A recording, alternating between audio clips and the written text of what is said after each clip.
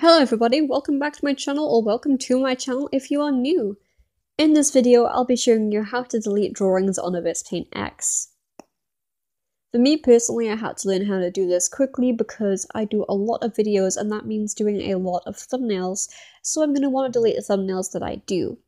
To delete a drawing, you're firstly going to have to go into your gallery. So just click back and then back to my gallery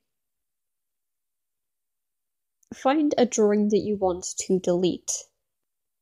I'm going to be going with this one because it was just a test for a stylus. So here with this drawing, what you're going to want to do to delete it is look up here on these bars. Go right here to these three dots and you will see it in red right here, delete. It always asks you if you really want to delete the artwork before you do it, which I think personally is really good in case you've accidentally clicked the button.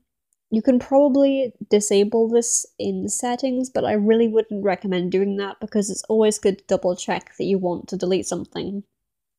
Just click delete and it will be gone.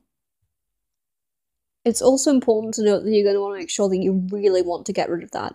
If it's a drawing and maybe it's taking up space, then I'd recommend saving the image first before deleting it so that you at least have some way to see the drawing again. As you can see right here, the delete is really close to the duplicate, which is something you have to be careful of in case you've disabled the double checking setting. So just make sure that whatever it is you want to get rid of it and you don't want it on your account anymore. There's no way to recover them either. There's no backspace that you can use in terms of this, and there's nowhere the drawings will go. They will just be gone right away, so you have to really make sure that that's something you never want to see again because you cannot undo that option once it's done. Thank you very much for watching the video. That is how to delete stuff in Ibis Paint. I hope that you enjoyed, and if you did, maybe consider supporting.